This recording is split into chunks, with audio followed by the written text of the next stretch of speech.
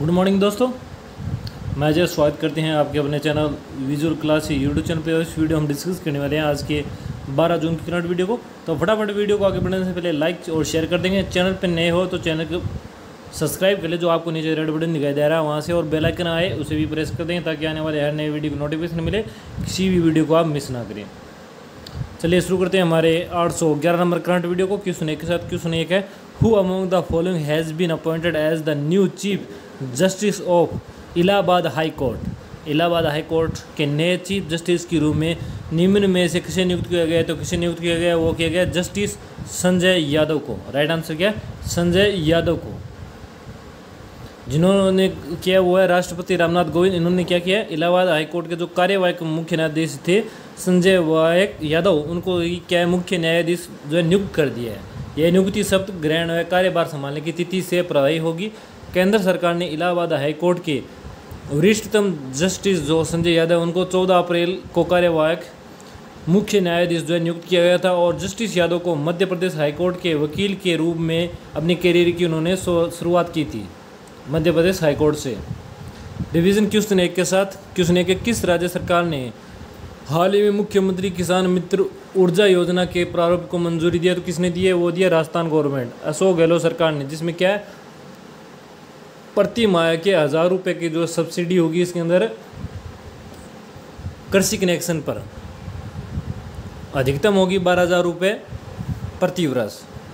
Agency CRISIL ने वित्त वर्ष 2021-22 के लिए भारत के सकल घरेलू उत्पाद के विकास के अनुमान को 11 प्रतिशत से हटाकर कितने प्रतिशत कर दिया? तो है 9.5 प्रतिशत प्रतियान दिवस मनाया जाता है, प्रति किस दिन मनाया जाता है? तो वो है 9 जून को। बंगाल के किस पूर्व क्रिकेटर का बेहतर वर्ष की उम्र में निधन हो गया? तो है रवि बनर्जी का।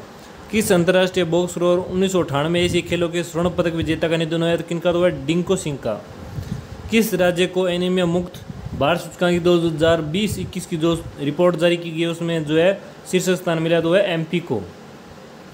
क्वेश्चन नंबर दो which state government has launch the E Nirman portal and mobile app for the workers of unorganise sector किस राज्य सरकार ने असंगठित क्षेत्रों के श्रमिकों के लिए ई निर्माण पोर्टल जो है और मोबाइल ऐप है, उसने लॉन्च किया? तो किस राज्य सरकार ने किया है?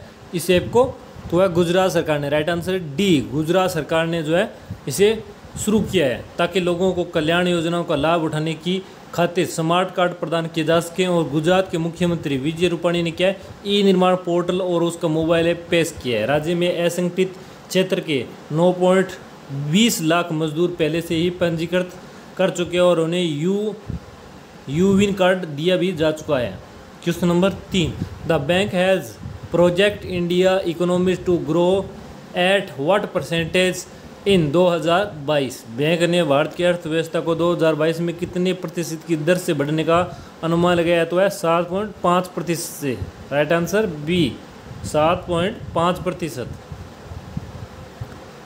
सात पॉइंट पाँच प्रतिशत से बढ़ने का अनुमान लगाया। विश्व बैंक ने, विश्व बैंक ने साथ में कहा कि कोविड नाइन्टीन महामारी की अब तक की सबसे खतरनाक दूसरी लहर से आर्थिक पुनर्वाथन को नुकसान पहुँचा है।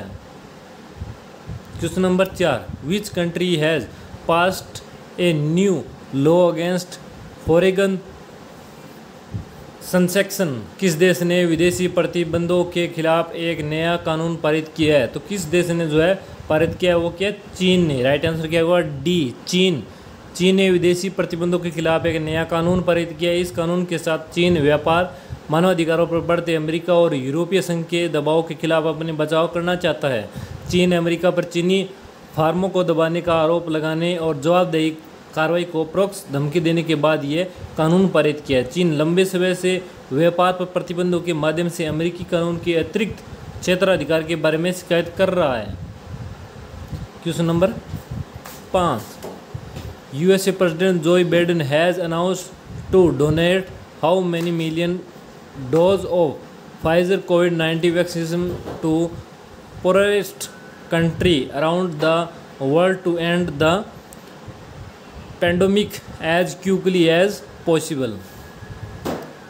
America के राष्ट्रपति जो बाइडेन ने महामारी को जल्द से जल्द समाप्त करने हेतु दुनिया भर के सबसे गरीब देशों को फाइजर कोविड नाइन्टीन की वैक्सीनेशन की कितनी मिलियन खुराक जो है दान करने की जो है घोषणा की है तो कितनी की हुआ है 500 मिलियन खुराक की है अमेरिका ने 2021 के अंत तक 200 मिलियन खुराक और 2022 की पहली छः मई में 300 मिलियन खुराक वितरित करने का लक्ष्य रखा है। अमेरिका ने वैश्विक कोवैक्स गठबंधन के तहत बानवे निम्न आय वाले जो देश है और अफ्रीकी संघ के वितरित करने के लिए 500 मिलियन फाइजर खुराक देने और दान करने के लिए प्रतिबद्धता ज़ाहिर की है। देखते हैं आज का सवाल। क्या आज का सवाल और जिसका आपको राइट आंसर देना है कमेंट के द्वारा सही आंसर देने वाले विजेताओं के नाम दिए जाएँगे। अगले वीडियो में क्वेश्चन है which former IAS officer of Uttar Pradesh cadre has been appointed as selection commissioner Uttar Pradesh cadre के किस पूर्व आईएएस अधिकारी को चुनाव आयुक्त नियुक्त किया गया? तो किसको किया गया चुनाव आयुक्त? वो आपको बताना है। ऑप्शन आपके सामने।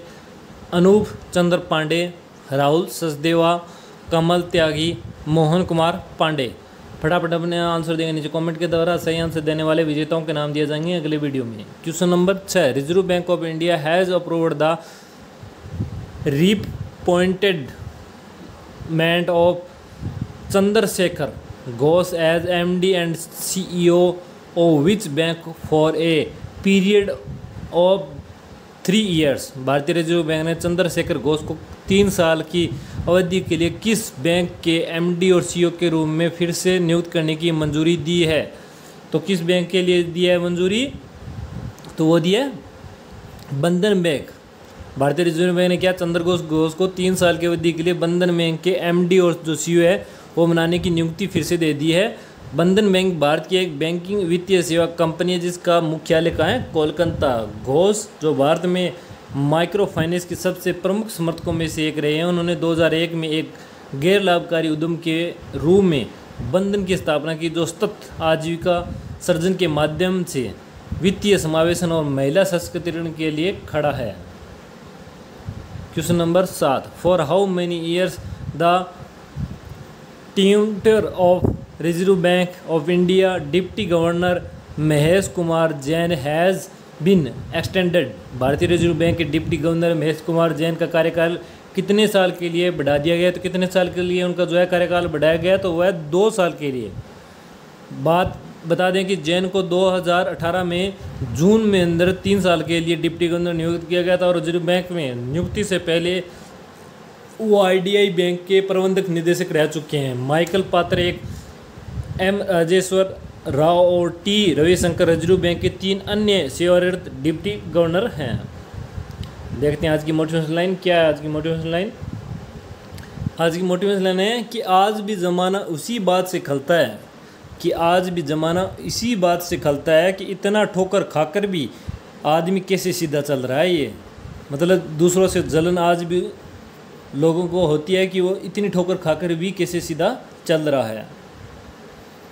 देखते हैं पिछले वीडियो का क्वेश्चन और सही आंसर देने वाले विजेता के नाम। कल के वीडियो का क्वेश्चन क्या था कि the Reserve Bank of India has approved the appointment of Vishwavir Ahuja as the managing director and CEO of which bank भारतीय रिज़र्व बैंक ने विश्ववीर आहूजा को किस बैंक के प्रबंधक निदेशक और सीईओ के रूप में नियुक्त करने की मंजूरी दी है? तो वह आर बैंक की। राइट आंसर क्या होगा?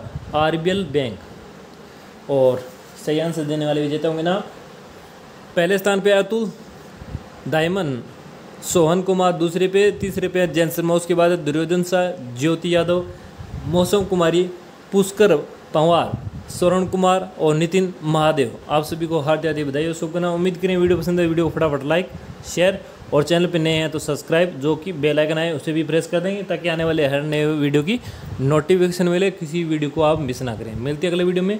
तब तक मस्त रहें, स्वस्थ रहें। जय हिंद, जय भारत।